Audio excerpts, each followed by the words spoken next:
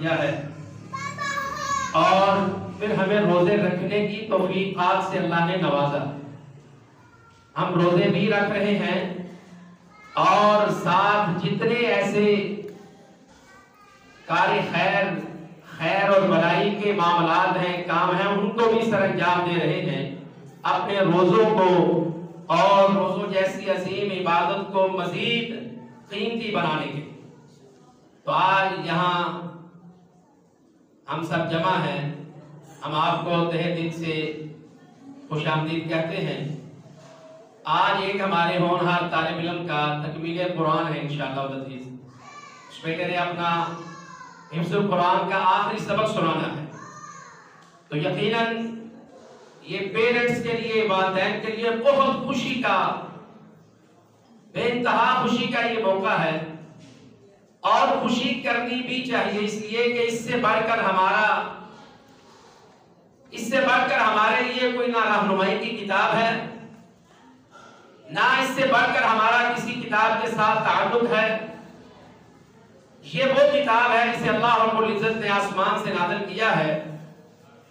اور اس کی حفاظت کا ذمہ بھی خود لیا ہے۔ جناب رسول اللہ صلی اللہ علیہ وسلم نے ارشاد فرمایا فرمایا کہ اللہ رب العزت اس کتاب قرآن کریم کے ساتھ بہت ساری قوموں کو عزتیں رفعت بلندیاں عطا فرماتا ہے۔ اور جو اس کتاب کو پسے پشت ڈال دیتے ہیں، اللہ رب العزت ان کو رسوا بھی کر دیتا ہے اور عبرت کا نشان بھی بناتا ہے۔ رسول اللہ صلی اللہ علیہ وسلم نے قرآن کریم کی بہت زیادہ فضیلتیں درجات بیان کیے ہیں۔ قرآن پڑھنے والا، پڑھانے والا، کہا دنیا میں بہترین وہ ہے جو قرآن کو پڑھتا ہے، جو پڑھاتا ہے، جو سیکھتا ہے، جو سکھلاتا ہے، جو اپنا اوڑنا بچھونا اس کتاب کتاب اللہ کے ساتھ بنا لیتا ہے۔ میرا رب اس سے بہترین کہہ رہا ہے۔ ہم دنیا کی کسی بات پر یا دنیا کے کسی فراز پر کے سرٹیفکیٹ پر نہیں جاتے۔ یہ وہ بات ہے، یہ وہ بات ہے جو اللہ رب العزت نے جناب رسول اللہ صلی اللہ علیہ وسلم کو بتلائی اور آپ نے اپنی امت کو یہ سکھلا دیا۔ تو سامع محترم، آج ہم اپنے بیٹے عبداللہ اسلم بن حافظ محمد اسلم، ان کا آخری سبق سماعت فرمائیں گے۔ تو جب وہ آخری سبق سنا لیں گے، تو انشاءاللہ العزیز قرآن کریم کے تحفیظ القرآن کی مکمل سعادت اللہ رب العزت کو عطا فرمائے گا۔ یہ ایسی سعادت ہے، یہ ایسی سعادت ہے، سعادت بیٹا حاصل کر رہا ہے۔ اور نبی صلی اللہ علیہ وسلم نے ارشاد فرمایا ہے کہ قیامت کے دن حافظ قرآن کے والدین کو جو تاج پہنایا جائے گا اس تاج کے اندر جو ایک موتی ہوگا، ایک موتی آپ صاحب نبی صلی اللہ علیہ وسلم نے فرمایا، اس کی روشنی اس سورج جو ہمیں سورج نظر آتا ہے۔ صحیح حدیث ہے سرد کے اعتبار سے۔ جو سورج ہمیں نظر آتا ہے جس سے گرمیوں میں ہم جناب بڑا بچتے ہیں، احتیاط کرتے ہیں، چھاؤں کو ڈھونڈتے ہیں، سائے میں جاتے ہیں اور کمروں میں بیٹھ کر چھت کے نیچے آ کے اے سی چلاتے ہیں۔ تپش اور گرمی سے بچنے کے لیے۔ نبی صلی اللہ علیہ وسلم نے فرمایا، اس تاج کا جو تاج کا عزت والا جو تاج ہوگا، اس کا ایک موتی، اس کی روشنی اور اس کی چمک اور اس کی خوبصورتی اس سورج سے زیادہ روشنی ہوگی، اس سے زیادہ وہ خوبصورت ہوگا۔ یہ ایک ایک موتی ہے۔ یہ میرے رب کے ہاتھ میں ہے، وہ پتہ نہیں کتنی موتیوں والے تاج میں پہنائے گا انشاءاللہ۔ ہے مشکل کام۔ ہے مشکل کام۔ لیکن میرے رب نے مشکل کے بعد ان بعد عسری یسرا ان بعد یسری ان بعد عسری یسرا اللہ نے دو دفعہ یہ بات کہی ہے کہ سختی ضرور ہے، مشکل ضرور ہے، حالات جگہ رکو ہوتے رہتے ہیں۔ مگر میرا رب کہتا ہے جو اس سے گزرے گا نا اسے ہم بہت ساریاں اس کے لیے آسانیاں بھی کرتے تو میں اپنے بیٹے آفت محمد عبداللہ بن اسلم کو دعوت دیتا ہوں، وہ آئے اور ہمیں اپنا آخری سبق سنائے۔ تو یہ جو میرے بھائی کے سامنے آ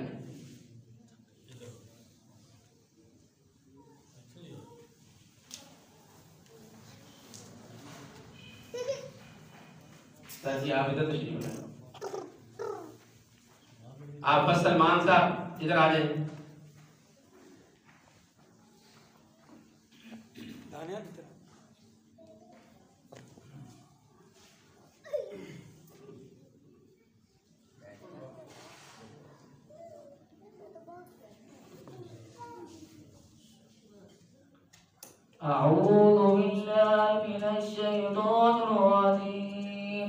بسم الله الرحمن الرحيم.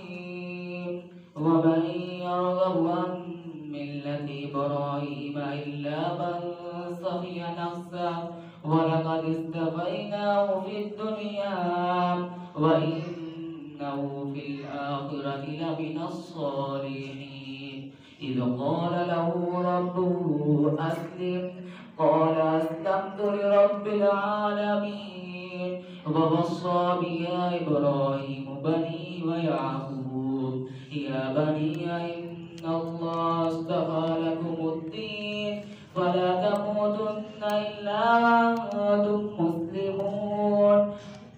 أم كنتم شهداء إذ حضر يعقوب الموت إذ قال لبني ما تعبدون من بعدي؟ قالوا نعبد إلهك إبراهيم وإسماعيل وإسحاق. إبراهيم وإسماعيل وإسحاق إلها واحدا. ونحن له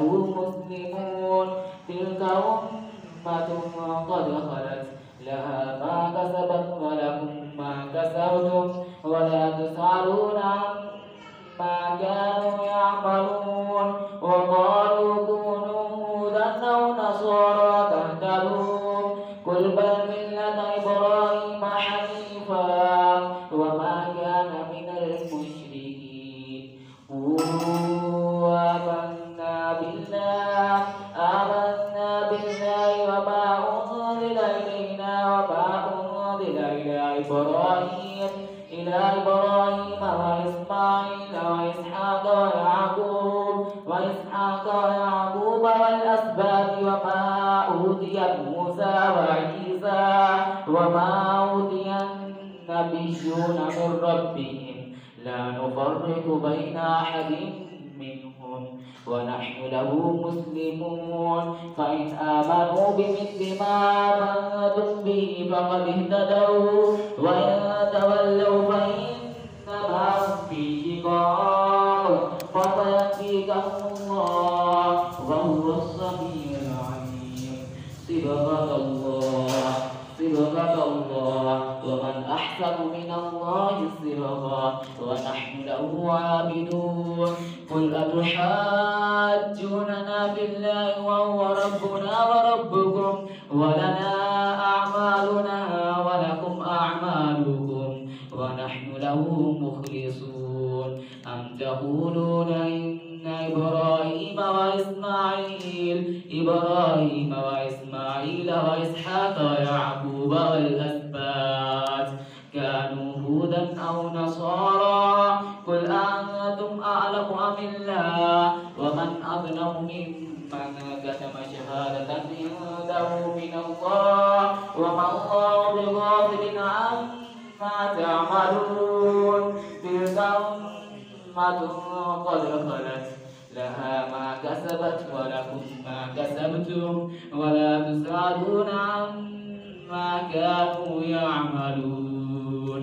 صدق الله العظيم.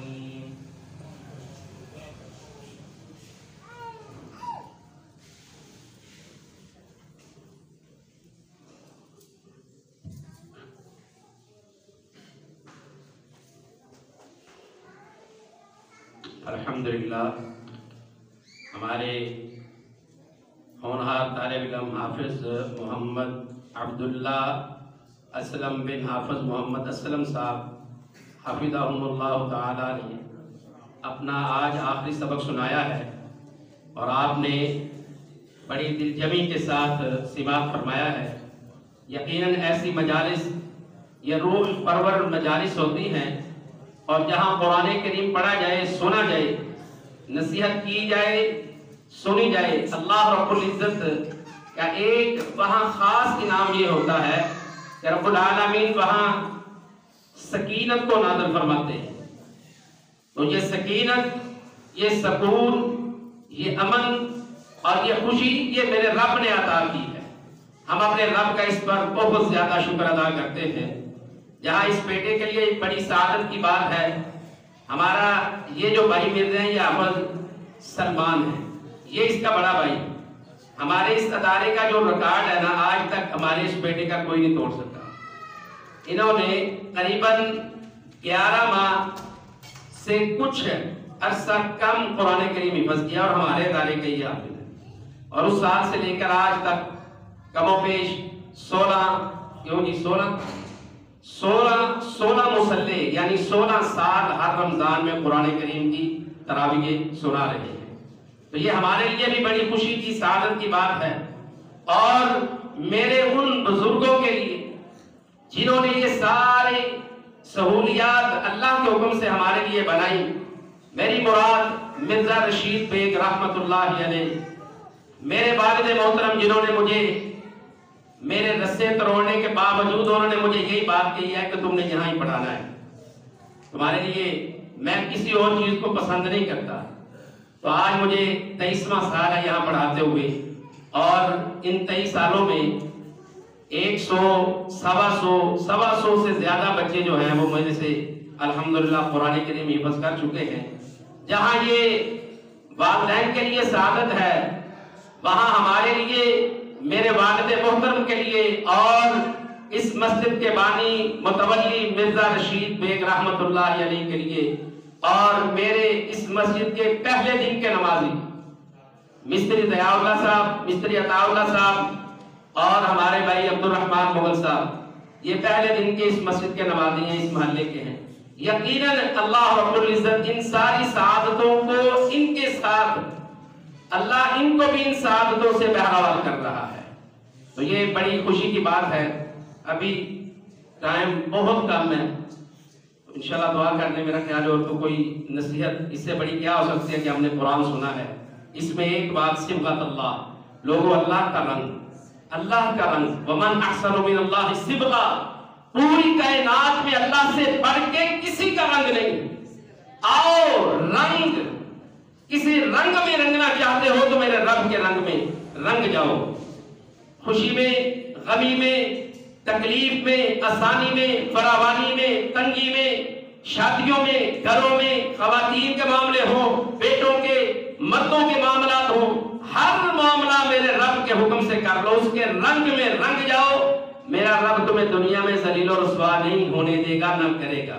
اللہم صلی علی محمد وعلا علی محمد كما صليت على ابراهيم وعلى ال ابراهيم انك حميد مجيد اللهم بارك على محمد وعلى ال محمد كما باركت على ابراهيم وعلى ال ابراهيم انك حميد مجيد. اللهم اياك نعبد واياك نستعين. اللهم انت القوي ونحن الضعفاء. انت الغني ونحن الفقراء. اللهم انت ربنا ونحن عبادك. يا رحمن يا رحيم. يا ذو العرش المجيد. فعال لما يريد. الہ العالمین آپ آسمان و زمینوں کے مالک ہیں. اے اللہ قسم کے عیب اور کمی سے پاک ہیں۔ الہ العالمین، آپ آپ عرش معلہ کے رب ہیں، عرش العظیم کے رب ہیں۔ بڑے جلال والے ہیں اللہ، بڑا اونچا مقام ہے آپ کا۔ اے اللہ، ہم گناہگار فقیر بندے۔ اے اللہ، غریب اور مسکین بندے۔ اے اللہ، کمزور اور گناہگار بندے۔ اے اللہ منگتے تیرے دربار پر حاضر ہیں اللہ۔ ہمارے صغیرہ اور کبیرہ گناہوں کو معاف فرما۔ الہ العالمین یہ رمضان کا مہینہ، بخشش کا مہینہ ہے۔ اللہ، یہ بخشش کا مہینہ ہے، جہنم سے آزادیوں کا مہینہ ہے۔ اللہ، رمضان مبارک کی ہر رات آپ اپنے بندوں کو جہنم سے آزادیاں دیتے ہیں۔ اللہ اللہ، اس رمضان کو اللہ، اس رمضان میں ہمیں بھی جہنم سے آزادی عطا فرما۔ اللہ، بیس رات رمضان کی گزر چکی ہے اے اللہ، آج اکیسویں آخری عشرے کی پہلی رات ہے اللہ۔ اللہ ہمیں بھی جہنم سے آزادی عطا فرما۔ اللہ ہمارے والدین کو، ہماری اولادوں کو، ہمارے گھر کی خواتین کو اللہ ہماری بیویوں کو بھی جہنم سے آزادی عطا فرما۔